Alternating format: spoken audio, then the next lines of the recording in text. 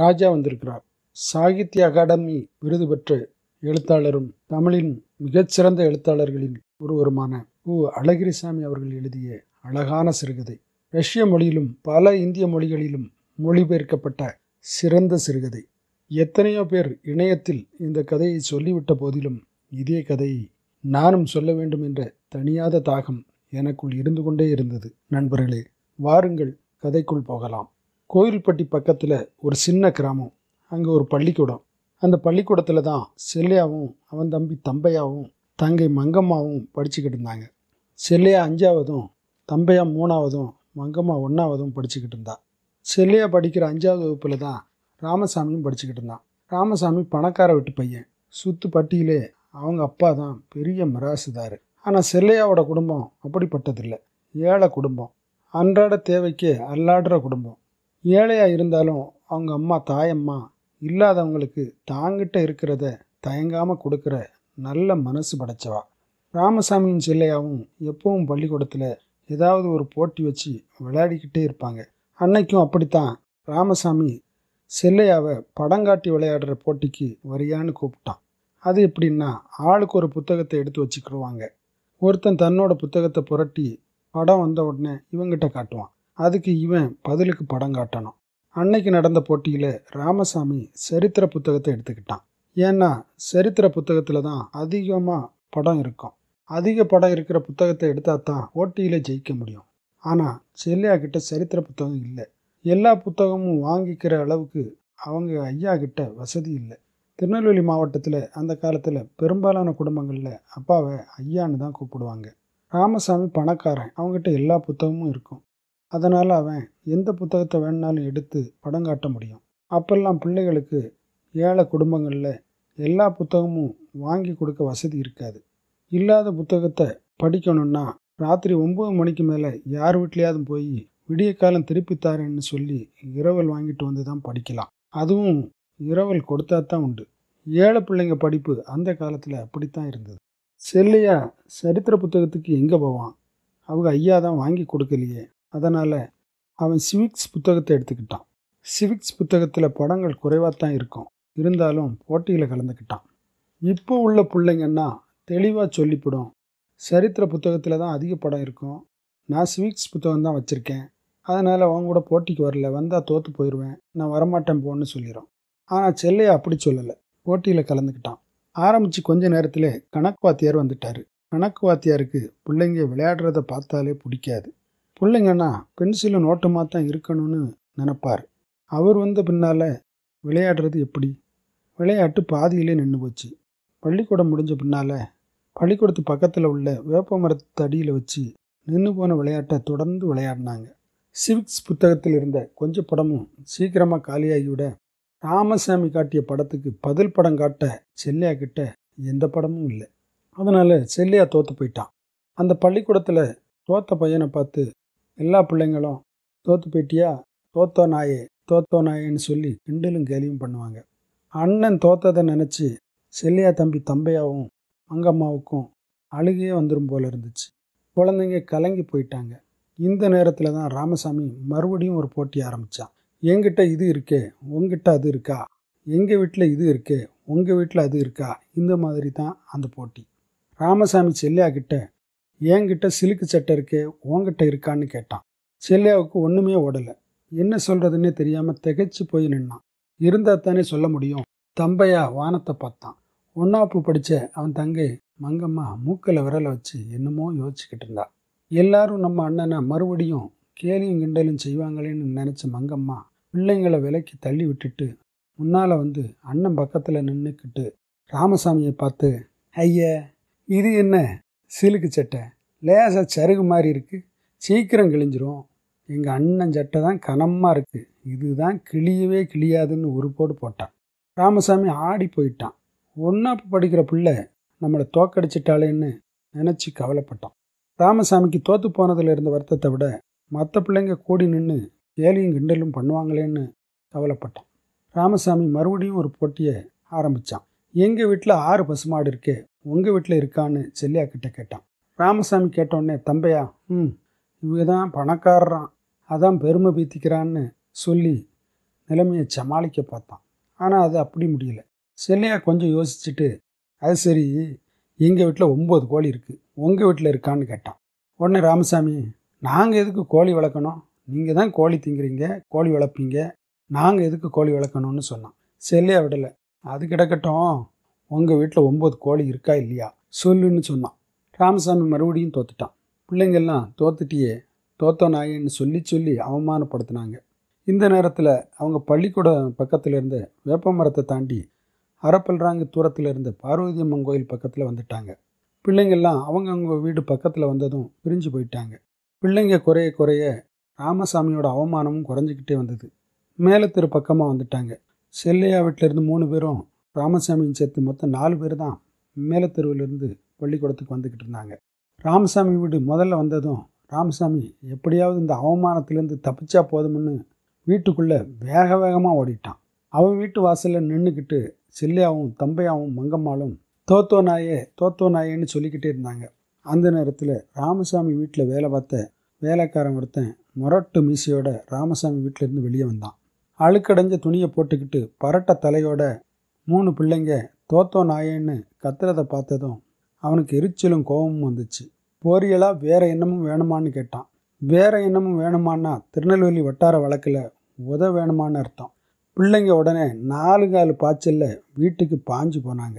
அவங்க வீட்டு வாசலில் அவங்க அம்மா தாயம்மா வாசல் பெருக்கி தண்ணி தெளிச்சுக்கிட்டு இருந்தா.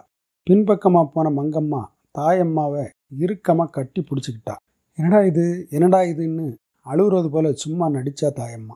தாயம்மா அழுகுறது மாதிரி பண்ணுறதை பார்த்த மங்கம்மாவுக்கு சிரிப்பு வந்துச்சு. மங்கம்மா தாயம்மாட்ட ஐயா வந்துட்டாராம்மான்னு கேட்டான் தாயம்மா இல்லைன்னு சும்மா பொய் சொன்னான். தம்பையா நிஜமாவான்னு கேட்டான். நிஜமாத்தான்னு சொன்னா தாயம்மா. அந்த நேரத்தில் தான் செல்லையா ஐயா வரலையாம்மான்னு சோகத்தோட மனசு கம்மி போய் கேட்டான். செல்லையா இப்படி மனங்கலங்கி கேட்டது தாயம்மாளுக்கு கவலையாக போச்சு. உடனே தாயம்மா மங்கம்மா உள்ள சாதிக்காப்பட்டியில் என்ன இருக்குன்னு போய் பாருன்னு சொன்னான். உடனே மூணு பிள்ளைகளும் ஓட்டமாக ஓடி சாதிக்காப்பட்டியில் இருந்த ஒரு பெரிய புது துணி பையை எடுத்துகிட்டு வந்தாங்க. அதில் ரெண்டு டவுசரு ரெண்டு பனியன் ஒரு பாவாடை ஒரு பச்சை கலர் சட்டை ஒரு நாலு முளை துண்டு இருந்துச்சு. விடிஞ்சா தான் தீபாவளி. ஆனால் அந்த குழந்தைங்களுக்கு அந்த புது துணியை பார்த்த உடனே அப்போவே தீபாவளி வந்தது போல் சந்தோஷப்பட்டாங்க. அவங்கவுங்க துணியை அவங்கவுங்க சரியாக பிரித்து எடுத்துக்கிட்டாங்க. அந்த துண்டு தான் யாருக்குன்னு மூணு பேருக்குமே தெரியல. துண்டு யாருக்குன்னு செல்லையா கேட்க ஐயாவுக்கு தாண்டான்னு தாயம்மா சொன்னவுடன் மங்கம்மா அப்போ உனக்கு ஒன்றுமே இல்லையான்னு கேட்டா? அதுக்கு தாயம்மா எனக்கு எதுக்குடா கண்ணு? அம்மாவுக்கு தான் ரெண்டு சேலை இருக்கேன்னு சொன்னான். இப்போ ஐயாவுக்கு மட்டும் எதுக்கான்னு மங்கம்மா சொன்னான். அப்படிலாம் சொல்லக்கூடாது கண்ணு. ஐயா அஞ்சாறு மாதமா ஒரு ரூபாய்க்கு ஒரு துண்டு வாங்க வகையிலையேன்னு தெருவில் போகிறதுக்கே வெக்கப்பட்டுக்கிட்டு இருந்தார். வேட்டியை தோளில் போட்டுக்கிட்டு திரிஞ்சார். அதனால தான் கண்ணு. அதுவும் நாம் ஏழை பாரு. பணக்காரரா நாம். பணக்காரராக இருந்தால் எல்லாருக்கும் துணி எடுக்கலாம். நம்ம ஏழை தானேன்னு சொல்லி தாயம்மா சமாளித்தான் ஐப்பசி மாதம் நல்ல குளிராக இருக்கிற மாதங்கிறதால குழந்தைகளுக்கு வெந்நி வச்சு மூணு பேரையும் குளிக்க வச்சா. வெந்நீரில் குளிச்சிருந்தாலும் குழந்தைங்களுக்கு சில்லுன்னு காற்று பட்ட உடனே ஈரக்காற்று பட்ட உடனே குளிரில் நடுங்கி போய் குடுகுடுன்னு வீட்டுக்குள்ளே ஓடிட்டாங்க. குழந்தைங்களுக்கு சாப்பாடு போட்டு அவங்க ஐயா வெளியூருக்கு தூரத்து சொந்தக்காரர் ஒருத்தர் இறந்த துஷ்டிக்கு போன விஷயத்தையும் மறுநாள் மதியம்தான் அவர் வருவாருங்கிற விஷயத்தையும் அவர் வர்ற வரைக்கும் காத்திருக்காம தீபாவளியை கொண்டாட சொன்னதையும் குழந்தைங்கிட்ட சொன்னா தாயம்மா. அதுக்கப்புறமா தாயம்மா மாடக்குழியில் இருந்த விளக்கை கொஞ்சம் நல்லா தூண்டி எரிய வச்சுட்டு குழந்தைங்க மூணு பேரையும் உட்கார வச்சு படிக்க சொன்னான். பாத்திர மண்டங்களை முத்தத்துக்கு எடுத்துகிட்டு போய் கழுவுனான். இப்போ முத்தத்துக்கு பாத்திர மண்டங்களை எடுத்துகிட்டு போனப்போ தான் அந்த பக்கமாக முத்தத்தை தாண்டி முருங்கை மரத்து பக்கமாக கருப்பாக ஏதோ ஒரு உருவம் தெரிஞ்சிச்சு. ஏதோ பக்கத்து வீட்டு நாயாக தான் இருக்கும்னு தாயம்மா நினச்சிக்கிட்டா. தாயம்மா பாத்திரங்களை கழுவி விட்டு வீட்டுக்குள்ளே போனபோது தம்பையா செல்லையாவை ஒன்றுக்கு போனோம் துணைக்கு வரையான்னு கூப்பிட்டான். ரெண்டு பேரும் முற்றத்தை தாண்டி வெளியில் வந்தாங்க. அப்போ ராமசாமி வீட்டை பார்த்து ரெண்டு பேர் பெட்ரமாக்ஸ் லைட்டை எடுத்துக்கிட்டு போனாங்க. அதனால் இவங்களுக்கு இருட்டுங்கிற பயம் இல்லாமல் போச்சு. முருங்கை மரத்தடியில் இருந்த அந்த கருப்பு உருவத்தை இவங்களும் பார்த்தாங்க. வெளிச்சம் தந்த துணிச்சலால் பக்கத்தில் போய் பார்த்தா இவங்க வயசுள்ள ஒரு சின்ன பையன் அழுக்கடைஞ்ச கோவணத்தை மட்டும் கட்டிக்கிட்டு ராமசாமி வீட்டு முன்னால் கிடந்த எச்சி இலையில் மூணு இலையை எடுத்துகிட்டு வந்து அதை வலித்து வலித்து சாப்பிட்டுக்கிட்டு இருந்தான். அந்த கிராமத்திலேயே இலை போட்டு சாப்பிட்ற வசதி உள்ள ஒரே குடும்பம் ராமசாமியோட குடும்பம்தான். அவனை பார்த்ததும் தம்பையாவுக்கும் செல்லையாவுக்கும் கோவம் கோவமாக வந்துச்சு. அவன் எச்சில சொர வலித்து திங்கிறத பார்த்த தம்பையா எச்சியை திங்கிறான். சீ ஆயின்னு சொல்லி தூணு துப்புனான். பக்கத்தில் போன செல்லையா எங்கள் வீட்டு முன்னால் ஏண்டா நிற்கிற போடான்னு சொல்லி மிரட்டினான். ஆனால் அந்த பையன் ஒரு கையால் தலையை சொரிஞ்சிக்கிட்டு இலையை வேகமாக வலிச்சு வலிச்சு சாப்பிட்டான். யாரோ சாப்பிட்ட முருங்கைக்காயை எடுத்து இவன் திரும்பவும் கடித்து சாப்பிட்டான். தம்பியாவுக்கு அவனை மிதிக்கணும்னு தோணுச்சு. அப்போ தான் அவங்க அம்மா தாயம்மா ஒன்றுக்கு போன பிள்ளைங்களை காணமேன்னு செல்லையான்னு கூப்பிட்டுக்கிட்டே வந்தான் இவங்க ரெண்டு பேரும் மழை வர்ற மாதிரி இருந்ததால் மழை வர்றதுக்குள்ளே அந்த பையனை விரட்டிட்டு வீட்டுக்குள்ளே ஓடிடலாம்னு நினச்சாங்க. ஆனால் மழையும் வந்துருச்சு. அவங்க அம்மா தாயம்மாவும் வந்துட்டா. வந்த உடனே தாயம்மா தம் பிள்ளைகளோட அந்த பிள்ளையும் கூட்டிக்கிட்டு வீட்டுக்குள்ளே விறுவிறுன்னு வந்துட்டா. வீட்டுக்குள்ளே வந்து விளக்கு வெளிச்சத்தில் அந்த சின்ன பையனை பார்த்தா. அழுக்கடைஞ்ச கோணத்தோடு நின்று அந்த பையனை பார்த்த உடனே தாயம்மாவுக்கு பாவமாக இருந்துச்சு. தலையெல்லாம் பொடுகு பாம்பு சட்டை மாதிரி பாலம் பாலமாக வெடிச்சிருந்தது. உடம்பு பூரா சிறங்கு இதை பார்த்ததும் தாயம்மா பரிதவிச்சு போனான் மூணு பேருக்கும் தலை தோட்ட துணி எடுத்துகிட்டு வரேன்னு உள்ளே போனால் தாயம்மா. இந்த நேரத்தில் தம்பையாவும் சில்லையாவும் சேர்ந்துக்கிட்டு ஓடான்னா போடா வெளியே போடான்னு சொல்லி அந்த பையனை மிரட்டினாங்க. பக்கத்தில் இருந்து பார்த்த மங்கம்மாவும் போடான்னா போயேன்னு சொன்னான். இதை கேட்டதும் அந்த பையன் ஓன்னு அழுதுட்டான். அந்த நேரத்தில் அங்கே வந்த தாயம்மா என்னடா தம்பி அழுகிறேன்னு கேட்டான் கேட்டுக்கிட்டே தன் பிள்ளைங்களை பார்த்து என்னடா சொன்னீங்க இவனைன்னு கேட்டான் அதுக்கு மங்கம்மா இவன் போனால் போக மாட்டேங்கிறான் அம்மான்னு சொன்னான். பக்கத்தில் நின்ன தம்பியா எச்சில் எடுத்து திங்கிறாம்மா. சி ஆயின்னு சொன்னான். அப்போல்லாம் பேசக்கூடாதா அப்படின்னு சொன்ன தாயம்மா. டீ தம்பி அழாதடான்னு சொல்லி அந்த பையனை ஆறுதல் படுத்தினான். என்னைய உன் அம்மாவாக நினச்சிக்கடா அழாதடா தம்பின்னு சொல்லி சொல்லி அவனுக்கு ஆறுதல் சொன்னான். அந்த பையனுக்கு அழுக நின்னாலும் பெருமூச்சு மட்டும் நிற்கலை விம்மிக்கிட்டே இருந்தான். யார் பெற்ற பிள்ளையோ இப்படி தனியாக வந்திருக்கானேன்னு அவனை விசாரித்தா உன் பேர் என்னடான்னு கேட்டதுக்கு அவன் ராஜான்னா எந்த ஊர் தம்பின்னு கேட்டான் விளாத்திக்குளம்னான் அப்பா அம்மா இல்லையான்னு கேட்டதுக்கு ஐயா நான் சின்ன பிள்ளையா இருக்கும்போதே செத்துட்டாரான் அம்மா போன வருஷம்தான் செத்து போனான்னு சொன்னான். இப்போ பக்கத்தில் நின்ன தம்பையா தங்கச்சி கூட இல்லையான்னு கேட்டான். இல்லைன்னா ராஜா உடனே கொஞ்ச நேரத்துக்கு முன்னால் அவனை மிதிக்கணும் போல தோணின தம்பையாவுக்கு பாவமாக போச்சு. ஐயோ பாவம்னு சொன்னான். கழுகு மலையில் தூரத்து உறவில் உனக்கு ஒரு அத்தை இருக்கா? அங்கே போனால் அவள் உனக்கு காவயத்து கஞ்சாவது ஊற்றுவான்னு யாரோ சொல்ல அதை நம்பித்தான் இந்த பையன் நாலு நாளாக முப்பத்தி ரெண்டு கிலோமீட்டர் நடந்து விளாத்தி குளத்துலேருந்து கோயில்பட்டி பக்கத்தில் உள்ள இந்த கிராமத்துக்கு வந்து சேர்ந்துருக்கான். இருட்டாக இருந்ததால் இங்கே எங்கேயாவது தங்கிட்டு காலையில் போகலாம்னு நினச்சிருந்தான். கழுகு மேலே போனாலும் அந்த அத்தை இவனை சேப்பாலோ மாட்டாலோ கடவுளுக்கு தான் தெரியும். நண்பர்களே நாற்பது ஐம்பது வருஷங்களுக்கு முன்னால் பல ஊர்களுக்கும் புளிவுதுறையை கட்டிக்கொண்டு இப்படித்தான் பெரும்பாலான மக்கள் நடந்தே போனாங்க. அதுவும் பெண்ணாக இருந்தால் வழித்துணைக்கு ஆள் பார்ப்பார்கள். இங்கே கிழமை ஒரு ஊருக்கு போக நினச்சா புதன்கிழமை வேற யாராவது அந்த ஊருக்கு போகிற மாதிரி இருந்தால் வழித்துணைக்காக இவங்க பிரயாணத்தையே புதன்கிழமைக்கு மாற்றிக்கிடுவாங்க அப்படித்தான் அந்த காலத்தில் பிரயாணம் இருந்தது நண்பர்களே. அந்த பையனை நினச்சி தாயம்மா பாவப்பட்டான் மூணாம் வருஷம் வந்த காய்ச்சலில் நானும் செத்து போயிருந்தா என் பிள்ளைகளும் இப்படித்தான் தெருவில் நின்று இருக்கும்னு நினச்சி நினச்சி கலங்கினான். அவனை சாப்பிட வச்ச பிறகு பிள்ளைகளை படுக்க வைக்க ஓலப்பாயை எடுத்து விரித்த தாயம்மா ஐய குளிருமேன்னு நினச்சி கோணிப்பை ரெண்டு மூணை கீழே விரித்து அதுக்கு மேலே ஓலப்பாயை விரித்து பிள்ளைங்களை படுக்க சொன்னான். தெற்கு ஓரத்தில் அந்த பையனும் அடுத்து செல்லையாவும் அதுக்கடுத்து தம்பையாவும் வடக்கு ஓரமாக தாயம்மாளும் மங்கம்மாளும் படுத்துக்கிட்டாங்க. பிள்ளைகளுக்கு குளிருமேன்னு நினச்ச தாயம்மா உள்ளே போய் மறுநாள் தீபாவளிக்கு தான் கட்டிக்கிடணும்னு துவைச்சி மடித்து வச்சிருந்த சேலையை எடுத்துக்கிட்டு வந்தா. என் பிள்ளையை விட இந்த பீத்தல் முக்கியமானு நினச்சிக்கிட்டா. ஆனால் உண்மையிலே அவள் வச்சிருந்த ரெண்டு சேலையில் அதுதான் நல்ல சேலை நண்பர்களே. இந்த மாதிரியான தாய்மை பண்புகள் நிறைந்த ஏராளமான அம்மாக்கள் அன்றைய தமிழகத்தில் நிறைய இருந்தார்கள் நண்பர்களே. இப்படிப்பட்ட மனிதர்களால் தான் மழை கூட காலம் தவறாமல் பெய்ததோ என்னவோ. தாய்மை பண்பும் கருணையும் மீண்டும் மீண்டும் மனித குலத்திற்கு தேவைப்படுகிறது நண்பர்களே. அதை வளர்த்தெடுக்க வாசிப்பை நேசிக்கும் கூட்டத்தை வளர்த்தெடுக்க வேண்டும் நண்பர்களே. இரவில் தூங்கும் முன்ன பக்கத்து வீட்டிலிருந்து அநேகமாக ராமசாமி வீட்டிலிருந்து தான் வெடிச்சத்தம் கேட்டுச்சு. ராமசாமி வீடு பத்து பதினஞ்சு நாட்களாகவே தடல் புடலாக தீபாவளி விருந்துக்காக தயாராகி கொண்டிருந்தது. ராமசாமியின் அக்காவை ஜமீன் வீட்டில் கல்யாணம் பண்ணி கொடுத்துருந்தாங்க. அதனால் ராமசாமியின் அப்பா ராஜா வரார். இந்த தீபாவளியை சிறப்பாக செஞ்சிடணும்னு அடிக்கடி சொல்லிக்கிட்டே இருந்தார். அவர் தன் மருமகனை மருமகன்னு சொல்லாமல் ராஜா ராஜான்னு தான் சொல்லிக்கிட்டு இருந்தார். அன்னைக்கு மாலையில் தான் அவரோட மருமகனும் அங்கே வந்திருந்தான். தன்னோட அத்தானை ராமசாமி கூட அத்தான்னு சொல்லாமல் ராஜா ராஜானே தான் சொன்னான். அங்கிருந்து தான் வெடிச்சத்தம் கெட்டது. இந்த வெடிச்சத்தம் கேட்ட உடனே மங்கம்மா எனக்கு மத்தாப்பு வாங்கித்தான்னு தாயம்மாட்ட கேட்க மத்தாப்பு எதுக்குமா காலையில் அம்மா தோசை சுட்டு தரேன் வயிறு நிறைய சாப்பிடுன்னு சொன்னா தாயம்மா. மங்கம்மா கேட்கல. திரும்ப திரும்ப மத்தாப்பு வேணும் மத்தாப்பு வேணும்னு அடம் பிடிச்சா. மங்கம்மா அந்த ராஜாவை பாரு பட்டினி கிடந்தா கூட சோறு வேணும்னு கேட்குறானா அப்படின்னு சொன்ன உடனே தன்னையை தாழ்த்தி அவனை உயர்த்தி பேசுகிறாளே அம்மான்னு நினச்ச மங்கம்மா அவனுக்கு ஒரே சிறங்குன்னா எல்லாம் பேசக்கூடாது கண்ணுன்னு தாயம்மா சொல்ல ஆ அவன் இப்போ தூங்கிட்டான் காலையில் கேட்பான்னா இங்கே பாரு கண்ணு நம்ம சாப்பாட்டுக்கே என்ன பாடுபடுறோம்? உனக்கு தெரியாதா கண்ணு? இந்த வருஷத்தில் ஒரு நாள் உன் வயிற்றுக்கு கூட உருவா கூழ் கூட கிடைக்கலையே கண்ணுன்னு சொல்லிக்கிட்டு கண் கலங்கினா தாயம்மா.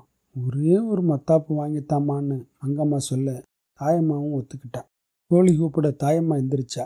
ராத்திரி தொடங்கின மழை அப்போ தான் கொஞ்சம் ஓஞ்சிருந்தது. ஆனாலும் ஒவ்வொரு சொட்டு சொட்டு சொட்டுன்னு விழுந்தது சோளம் பொரியிறது போல இருந்துச்சு. குழந்தைங்களுக்கு வெண்ணி வச்சு ஒவ்வொருத்தராக குளிக்கிறதுக்காக எழுப்புனான் தாயம்மா ஒவ்வொருத்தரையா குளிக்க வச்சா. ராஜா மட்டும் குளிக்க மாட்டேன்னு சொல்லி அடம் பிடிச்சான் அரப்பு காந்தம் அரப்பு காந்தம்னு சொல்லி நான் குளிக்க மாட்டேன்னா. டே தம்பி என்னை உங்கள் அம்மாவை நினச்சிக்கடா உன் நல்லதுக்கு தாண்டா சொல்கிறேன் தீபாவளி அன்னைக்கு எண்ணெய் தேய்ச்சி குளிக்கலைன்னா தோசம்னு சொல்லுவாங்கடான்னு தாயம்மா சொன்னான் ஊஹும் நான் மாட்டேன். அரப்பு காந்தும்னா ராஜா. இல்லடா தம்பி சீக்கா காந்தாதடா தம்பின்னு தாயம்மா சொல்ல ஒரு வழியாக ராஜாவும் குளிக்க ஒத்துக்கிட்டான். உன்னை பிடிச்ச பீடையும் சிறங்கும் இன்னையோட போயிருமும் தாயம்மா ஆறுதல் சொல்லி அவனை குளிக்க வச்சா. குளிச்சு முடித்த பின்னால் குழந்தைங்க புது துணியை உடுத்திக்கிட்டு நின்னப்போ தான் தாயம்மா ராஜாவை பார்த்தா. அவன் மட்டும் அதே கோவணத்தோடு நின்றுக்கிட்டு இருந்தான். தாயம்மாளுக்கு என்ன செய்ததுன்னே விளங்கலை. எல்லாம் செஞ்சும் இந்த பிள்ளைக்கு உடுத்த கொடுக்க ஒரு துணி இல்லையேன்னு சொல்லி கலங்கி போனான். அந்த துண்டு மட்டும்தான் இருந்துச்சு. ஆறு மாதம் அவர் துண்டு கூட இல்லையேன்னு குழம்பிய புருஷனுக்கு துண்டை கொடுக்குறதா? இல்லை இந்த பிள்ளைக்கு கொடுக்குறதான்னு குழம்பி போனா தாயம்மா. என்னை சோதிக்கிறதுக்கு தான் வந்தியாடா தம்பின்னு மனசுக்குள் புலம்பினாள். அந்த நேரம் அங்கே வந்த மங்கம்மா நம்ம பாவம்மா அவனுக்கு இந்த துண்டை கொடுத்துருமான்னு சொல்ல தாயம்மா வெடித்து அழுதாள். விம்மி விம்மி அழுதாள். அழுது கொண்டே தம்பையாவை கூப்பிட்டு தம்பையா அந்த துண்டை எடுத்து ராஜாவுக்கு கொடுடான்னா தம்பையா ராஜாவுக்கு துண்டை எடுத்து கொடுத்தான். வறுமையிலும் தர்மம் பண்ணுகிற குணம் உள்ளவர்கள் மனிதரில் தெய்வம் என்றால் அதை மறுக்கவா முடியும் நண்பர்களே? எங்கேயோ யாருக்கோ பிறந்து ஆதரவில்லாமல் ஆந்தையாய் வந்து நின்ற குழந்தைக்கு தம்புள்ளே போல நினச்சி துணியும் உணவும் கொடுத்த தாயம்மா மனுஷரில் தெய்வம்தானே நண்பர்களே. அன்னைக்கு இன்னும் ரெண்டு தோசை அதிகமாக சாப்பிடக்கூடிய தம்பையா தெருவுக்கு போய் வேடிக்கை பார்க்கணுங்கிற ஆசையினால் சாப்பாட்டை சீக்கிரமாக முடிச்சுக்கிட்டு தெருவுக்கு ஓடினான். மங்கம்மா குளித்து முடித்து லேசாக தலைமுடியை கட்டிக்கிட்டு தெருவுக்கு வந்தா. மங்கம்மா அழகை பார்த்து அசந்து போனா தாயம்மா. என் கண்ணே பட்டுடும் போல நினச்சி மங்கம்மாவை மறுபடியும் வீட்டுக்குள்ளே கூட்டிகிட்டு போய் கன்னத்தில் அவளுக்கு திருஷ்டு பொட்டு வச்சு விட்டா. மறுபடியும் தெருவுக்கு வந்த மங்கம்மா அந்த பக்கம் இருந்து ராமசாமி வருவதை பார்த்தா ராமசாமி நீலக்கால் சட்டையும் அந்த ஊருக்கே புதுசான புஷ் கோட்டும் போட்டிருந்தான். ரெண்டு பேரும் பக்கத்தில் வந்ததும் ராமசாமி எங்கள் வீட்டுக்கு ராஜா வந்திருக்காருன்னு அவனுடைய அத்தானை பற்றி யதார்த்தமாக சொல்ல அதை நம்மளோட போட்டிக்கு தான் வரான் இவன் நினச்சிக்கிட்ட மங்கம்மா ஐய உங்கள் வீட்டுக்கு தான் ராஜா வந்திருக்காரா? எங்கள் வீட்டுக்கும் தான் ராஜா வந்திருக்காரு. வேணும்னா வந்து பாருன்னு சொன்னான். நன்றி நண்பர்களே.